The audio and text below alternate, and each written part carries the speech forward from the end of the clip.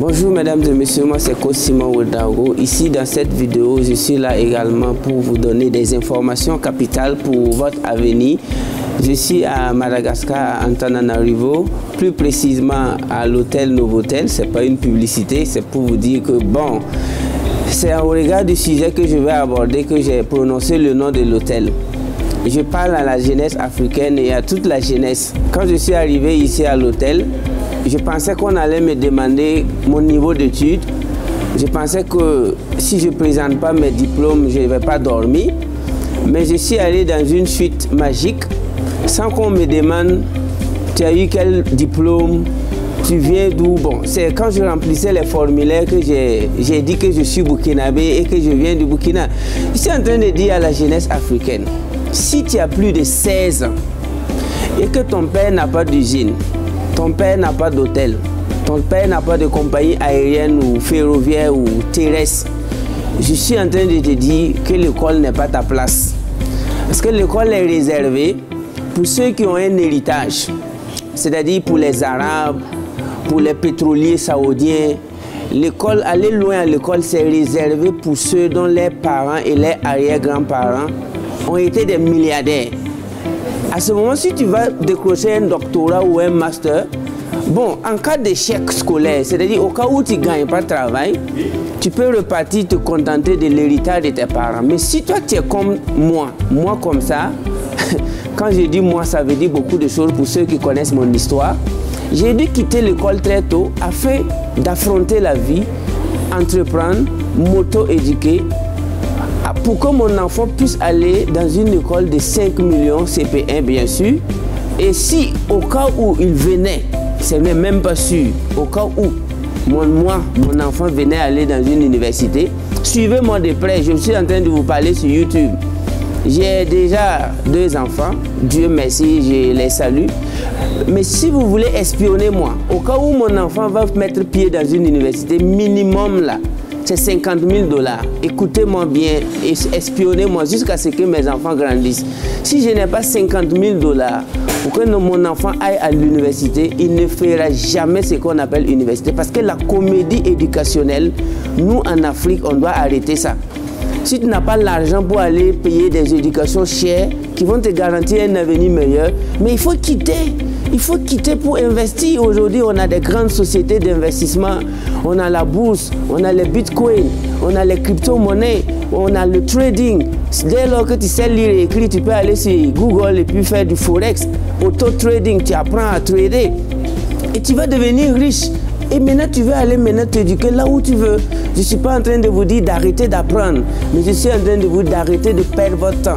N'ayez plus pitié à vos parents, parce qu'au début, les jeunes ont pitié de leur papa. Je vais te donner le bac et me chercher. Après, je vais te donner la licence papa. Après, maman a exigé que j'ai le master. Après, quand tu ramasses tout ça, tu reviens à la maison, tes parents te disent merci pour avoir fait ça. Et puis tu dis, mais et alors? Ils te disent de regarder la télé ou du moins de, de postuler.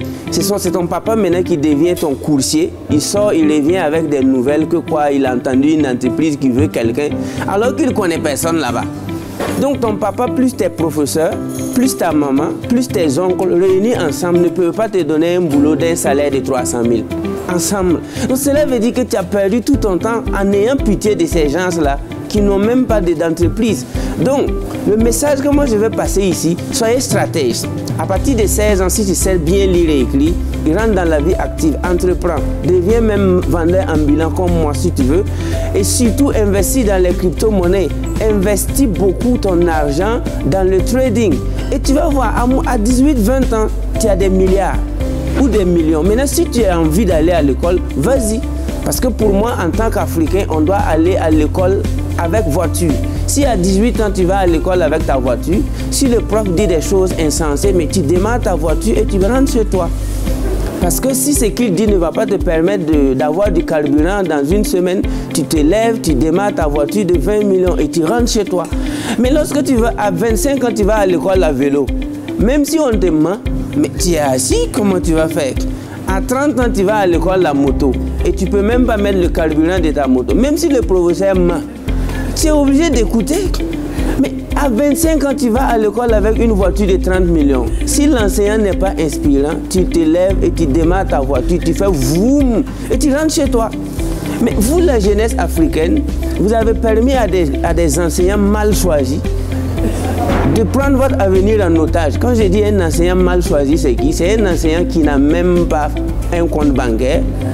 C'est un enseignant qui ne sait même pas où va le monde. Il ne connaît pas Bitcoin, ne connaît pas Life Mal Money, il ne connaît pas Simcoin. Quand tu lui demandes qu'est-ce que c'est que Forex, l'enseignant, il est là, il se gratte. Il ne connaît même pas définir Forex. tous ces messieurs-là, c'est ceux qui ont pris votre avenir en otage. Moi, je les appelle les vampires de l'avenir de la jeunesse africaine. Et comme l'Afrique, les Africains, les vampires de votre avenir, ce sont les enseignants qui ne se cultivent pas. Ils sont bleus, noirs. Tu te lèves, tu dis bonjour monsieur, est-ce que tu sais ce que c'est que Singapour? Est-ce que tu connais le marché boursier, les capitalisations boursières? Le gars, il te regarde. Il dit quoi? Capitalisation quoi? Ce monsieur-là, tu penses qu'il peut être responsable d'un avenir meilleur? Non c'est pourquoi moi je m'adresse à la jeunesse africaine. N'ayez plus pitié des enseignants qui ne se cultivent pas. Les notes là, on sort un bic, on partage des notes à 1000 personnes, 18, 17. Mais c'est rare de personnes qui peuvent sortir une carte bancaire, partager 10 000, 10 000 à ses étudiants.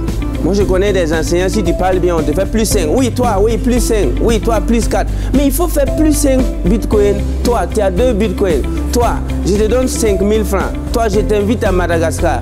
Combien d'enseignants peuvent inviter les étudiants à voyager parce qu'ils l'étudient bien? Les notes là, c'est un bic et une feuille. Et puis on te fait plaisir sur le papier. Par la suite, la vie ne se trouve pas sur papier. C'est pourquoi les Saoudiens, les Arabes, les anglophones, les, Américains, les Européens, ils ont d'abord assuré un avenir à leurs enfants avant leur naissance. Aujourd'hui, s'ils veulent que ces jeunes-là fassent des universités, on n'est pas sur les mêmes tempos en fait. Nous sommes en Afrique, le continent de toutes les possibilités. Jeunesse africaine, prenez votre avenir en main. Faites de sorte que vos enfants aillent dans des universités meilleures au cas où vous aimez les longues études. Sinon, ça ne va pas marcher. Mais le, message aussi que je vous donne, c'est un suspense. La GCAP 4, si vous me connaissez également dans la GCAP, la GCAP 4 aura lieu. On avait annoncé ça pour le 2 mai, mais ce sera désormais le 9 mai. Donc, le 9 mai, comme je vous avais dit qu'un numéro utile vaut mieux qu'un Master 2, dans la vie, il faut voyager. Dans la vie, il faut rencontrer des grandes personnalités. Donc, je ne vais pas vous dire la personne qui va venir à la GCAP 4. C'est un invité spécial, un multimilliardaire que j'ai rencontré. Je pense même que c'est euh, par son intermédiaire que je suis à Madagascar ici pour des grands business. On a fait des des grandes décisions pour la jeunesse africaine. Ce monsieur va se déplacer à Ouagadougou pour la GCAP 4 le 9 mai. Vous allez me dire, mais c'est qui? Je vous ai dit qu'un numéro utile vaut mieux qu'un Master 2. Et si vous venez à la GCAP 4, ce monsieur à lui seul, s'il vous met dans sa plateforme, je pense qu'il peut assurer l'avenir de vos arrière-petits-fils. Je ne parle pas de vos enfants et de vos petits-enfants, je parle de vos arrière-petits-fils. Donc, je suis en train de démontrer ce que j'ai eu à dire. Un numéro utile vaut mieux qu'un Master 2. À la GCAP 4, vous allez avoir une personnalité africaine, un gourou du business, un loup-garou de, de la crypto-monnaie. Et allez-y chercher à savoir c'est qui.